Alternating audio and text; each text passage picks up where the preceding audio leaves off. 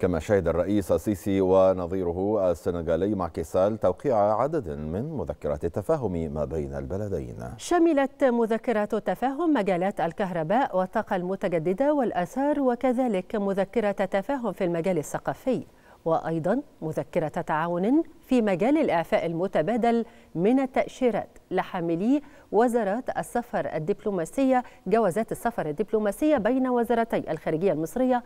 ونظيرتها في السنغال